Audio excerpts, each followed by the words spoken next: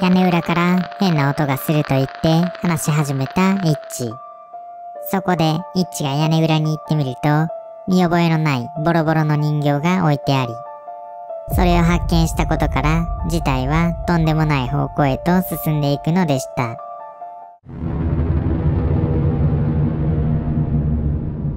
はじめに、怖い話したるわ、というイキリタイトルでスレを立てたイッチ。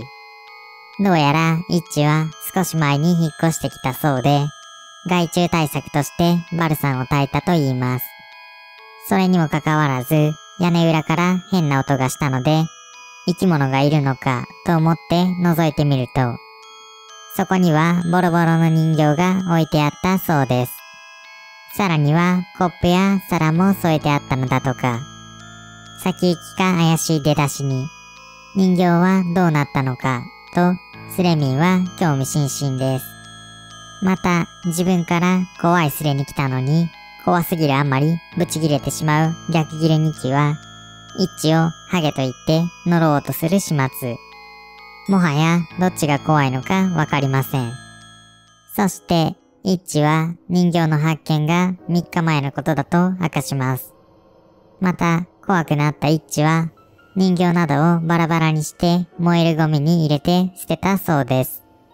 その回あってか、その日は音がなくなり、一致は安心したのですが、それがきっかけとなって幽霊の存在を信じるようになりました。すると、画像がないと何も信じられない疑り深いスレミンたちによって、すぐに嘘松認定されてしまいますが、そんな中、一致に異変が起きないといい、という心優しいスレミンも現れます。一方で、真剣に話を聞くスレミンは、前の住人から何も聞いていないのか、と気になってしまいました。そして、無駄に小出しにせず、レスコ時期でもないこのスレはいい部類だと、2チャンネルに長く居すぎてしまった結果、スレ評論家になった悲しきスレミンからは高評価を受けます。それから、イッチは明日まで有給を取っていることを明かしました。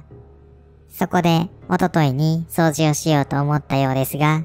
一人では怖いので、友人を呼んで屋根裏の掃除をしたそうです。そして友人と共に屋根裏の掃除を始めたところ、友人は屋根裏が異常に寒いと言って大騒ぎしますが、屋根裏にはエアコンなどついていないため寒くて当然です。しかし、あの人形の件もあったため、イッチは怖くなってしまいました。すると、あるスレミンによって、ドールが趣味でもないイッチの家に人形があるのは不思議だと、改めてツッコミが入ります。そして、イッチは釣りで使うようなヘッドライトを装着して、二人で屋根裏に登ったそうです。屋根裏は埃臭く、虫の死骸もたくさんあり、干からびたものや毛なども落ちていたそうで、イッチはいよいよ本格的に怖くなってきたと言います。とはいえ、友人がいるので何かあっても大丈夫だろうと思って掃除を続けました。そして雑巾が真っ黒になってきたので友人に雑巾を洗ってもらい、イッチは一人で残って屋根裏を掃除していたそうです。すると、あるスレミンは屋根裏に落ちていた毛は何の毛なのかと深追いしてしまい、ある意味突っ込みどころの多いこのスレに別のスレミンは期待を寄せます。こうして、イッチが掃除を続けていると、一人にもかかわらず、ギシギシと音が聞こえてきたそうです。その時、イッチは自分と友人の動きできしんでいるのかと思い、動きを止めてみましたが、それでも音は聞こえてくると言います。そして、友人が雑巾を洗いに行っても音は鳴りやまず、やはり屋根裏には何かがいるのだと思って、イッチが震えていると、突然出入り口から風が吹いてきました。そこで恐ろしくなったイッチは屋根裏を出て、泣きながら友人に残りの掃除をお願いしたそうです。ここまで読んだスレミンは、期待を裏切らない怖さに思わず草を生やしてしまいました。また、イッチの安全を心配したのか、たった今書き込んでいるのかと心配するスレミンもいますが、イッチはネットカフェでぬくぬくしながら書き込んでいるらしく、心配はいらないようです。こうして、イッチのお願いを笑って受け入れた友人は、一人で屋根裏を掃除しました。それから掃除が終わると友人は、そういういたずら俺には聞かないから、と言って笑いながら何かを投げつけてきます。すると、運動神経が鈍い人、お得意の顔面キャッチをして拾い上げてみると、それはボロボロの人形だったのです。そこで恐怖が蘇った一致は思わず失禁してしまいます。また、友人が持ってきた人形は前回捨てたものとは違っていました。というのも、イッチが捨てた人形は青い服を着ていたのですが、友人が投げつけてきた人形は赤い服を着ているのです。そしてイッチは同じように赤い服の人形もバラバラにして燃えるゴミの袋に入れました。しかし、その日はゴミの日ではなかったため、袋のまま家に置いておかなければなりません。そこで、イッチは友人に泊まってほしいと要求したのですが、残念ながら断られてしまいます。そんなイッチに対して、友人に泊まってもらいたいほど怖がっているのに、その人形をバラバラにして捨てるメンタルはあるのか、とツッコミが入り、スレミンの期待はどんどん高まっていきました。そこで、一人では怖くなってしまったイッチは、夜中まで起きていたのですが、何もなさそうだったので寝ようとします。すると、また廊下からギシギシと音が聞こえてくるのです。これまでなら湿度の変化による家なりかなと思えたようですが、人形が発見されて以来、イッチは恐怖に敏感になっています。そこで、イッチは泣きながら部屋に閉じこもって、好きなバンドの曲を流して外の音が聞こえないようにごまかしました。こうしてその日はなんとか眠ることができたと言います。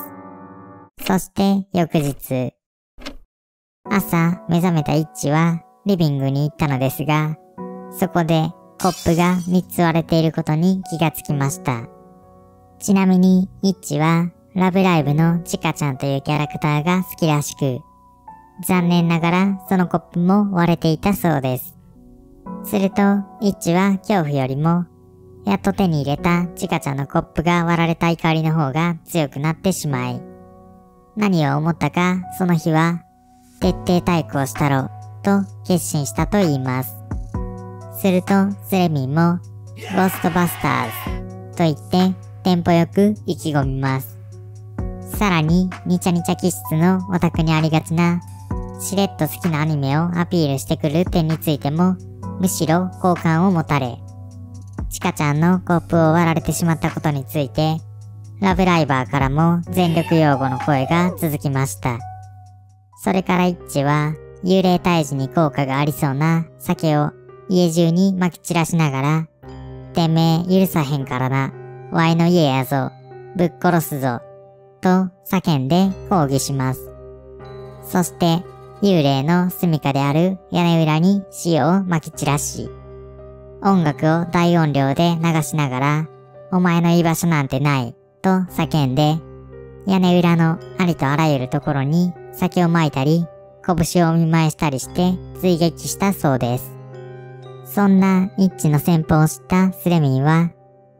賃貸で酒を撒き散らすイッチから狂気性を見抜き、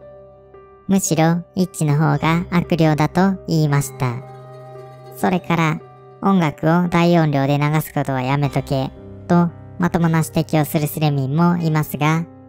音量だけにとダジャレを言って滑り倒してしまいます。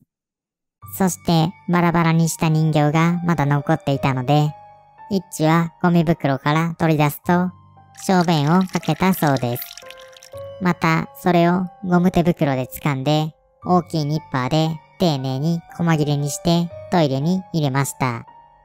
そして、思い知れクソが、と言って、うんこもぶちまけると一緒に流したのだとか。一致は怒りと達成感と謎の高揚感のあまり終始爆笑していたそうですが、思い返してみると、あの行動は外事に他ならないと言います。そんな一致の気候を知ったスレミンからは、一致が取り憑かれている説や、すでに外事である説が囁かれました。それから数分が経過すると、冷静になった一致は部屋を片付けて、ご飯を食べてお風呂に入ります。その間は何も起こらなかったため、例に勝利したかと一致は思ったようです。ところが一致が寝ている時に、またきしむような音が聞こえてきたのです。すると他人の不幸が大好きなスレミンは、ここから人形のターンが始まると不穏の展開を読み取ります。しかし一致は昼間あれだけ対策をしたのにと言って驚きを隠せません。そして怒りもふつふつと湧き上がってきて、やめておけばいいのに部屋の扉を開けてしまったのです。そしてその瞬間、廊下から一致の部屋に向けて生ぬるい嫌な空気がむわっと吹き込みました。すると、スルミンの部屋にも同じ風が吹いたらしいのですが、屁をすかされた説も浮上し、さらにはその時の一致を表現した画像といって、マリリン・モンローの有名な写真を貼るスレミンもいて、だんだんスレナイは盛り上がってきます。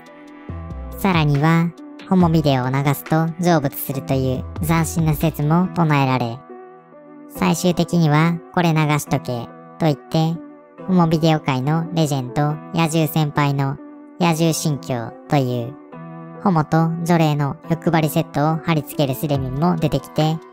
スレナイはどんどんカオスになっていきました。イッチは風が吹いてきたのは窓の施錠を忘れたからかもしれないと疑ったのですが、そもそも窓を閉めなかったら寝られないレベルで寒かったため、寝る前に全部施錠していたはずだというのです。とはいえ、忘れた箇所があるかもしれないと思い、廊下に出た瞬間、イッチの部屋の扉がものすごい勢いで閉まりました。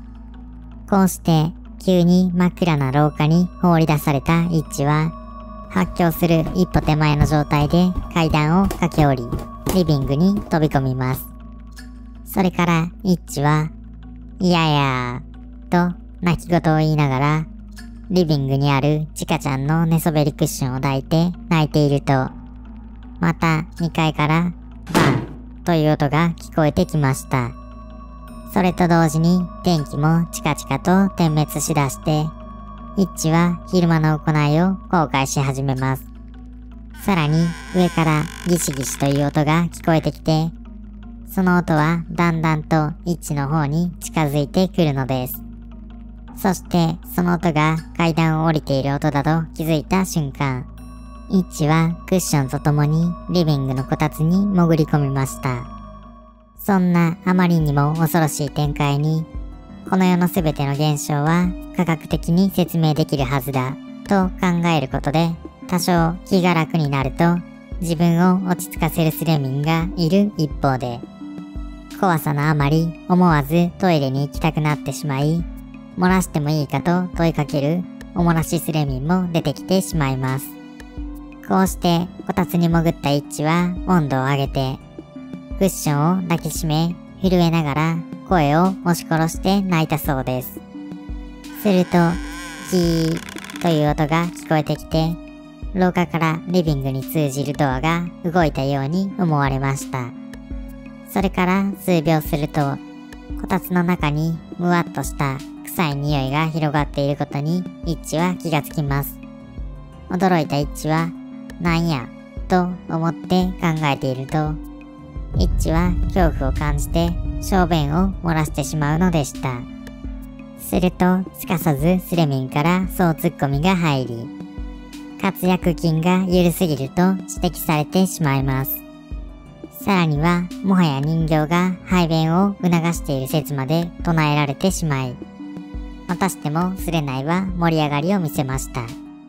そんな一致は下半身の気持ち悪さと臭さで今すぐこたつから出たくなるのですが、外に出るのは恐ろしくて、板挟みになってさらに泣いてしまいます。するとその瞬間、唐突に何かが割れる音が響きました。イッチはまたコップが割れたのだと思い、怖くて震えてしまいます。さらに、こたつがギシギシと音を立て始めて、イッチは金縛りにあったように動けなくなってしまったのです。そんな散々なイッチを見て、ワイも幽霊になって驚かせたい。と、社会的に生きていない実質幽霊みたいなスレミンが自虐ネタを披露しつつ、コップばかり標的に合っていてかわいそうだと思わず同情してしまうスレミンもいるカオスなスレ。それからイッチは嫌な汗をドバドバとかいてしまい、いよいよこたつの中は地獄になってしまいました。しかし、金縛りにあっているイッチは動くことができず、だんだん苦しくなってしまいます。そこでイッチは、俺が何したんや、と思ったのですが、思い当たる節がありすぎて、イッチは死を覚悟してしまいました。そして息が苦しい位置はヒューヒューと言いながら自分が変死体で見つかった時のニュースを想像して気を保っていたと言います。そんなイッチのドタバタぶりに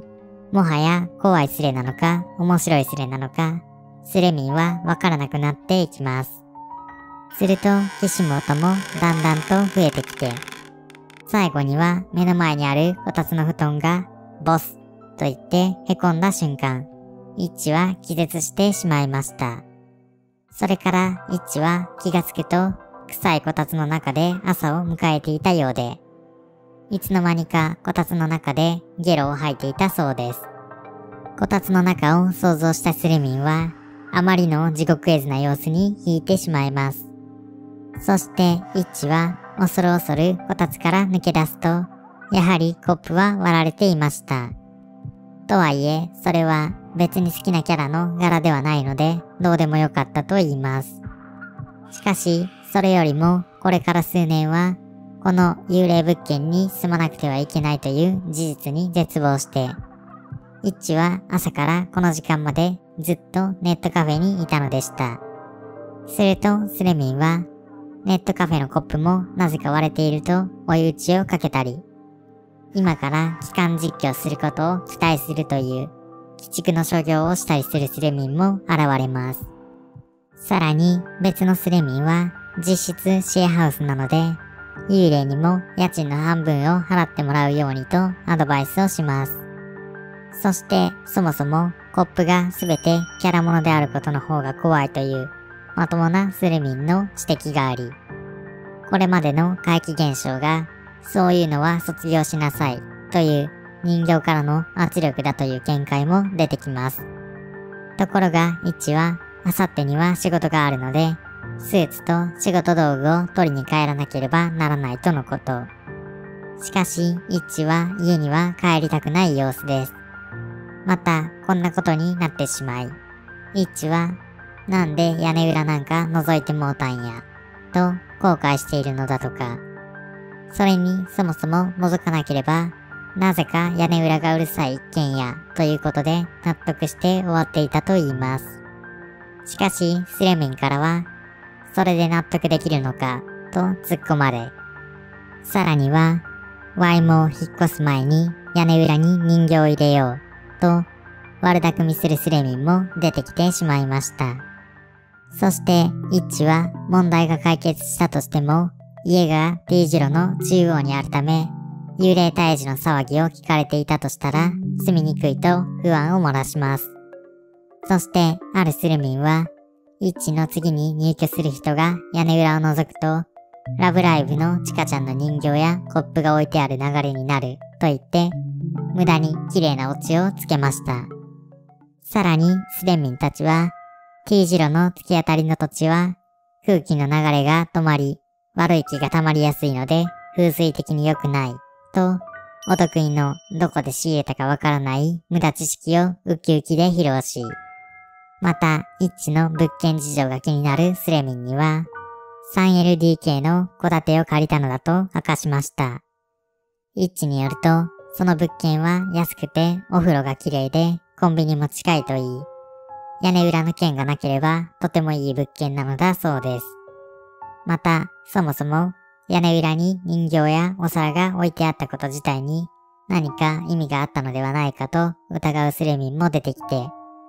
家賃にしても相場と比べてどうなのかと気になるスレミンには、家賃は7万円で駅から徒歩7分。そして 3LDK でベランダは広めで、ところどころ汚いところはあったものの、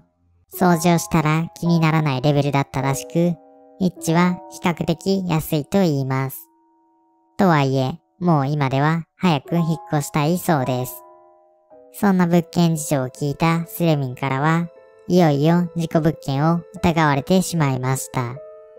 そこでスレミンは、一致に不動産会社に確認するように促します。しかし、不動産会社は事故物件だったとしても、誰か一人でも住んだ実績があれば記載しなくてもいいのだそうです。そんなスレミンのアドバイスを聞いたイッチは、とりあえず明日聞いてみることにしました。そして今日はネットカフェで漫画を読みながら寝るそうで、スレミンにワイみたいにならんように気をつけた方がええで、と言ってスレを去っていきます。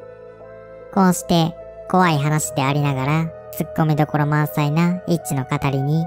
トムとジェリーのようなコミカル感を見出したスレミンもいて、多くのスレミンを魅了し、このスレは終了するのでした。引っ越したばかりのイッチが屋根裏で人形を見つけたことがきっかけで、怪奇現象に巻き込まれるという奇妙なスレでした。他の怖い家シリーズは概要欄からどうぞ。ご視聴ありがとうございました。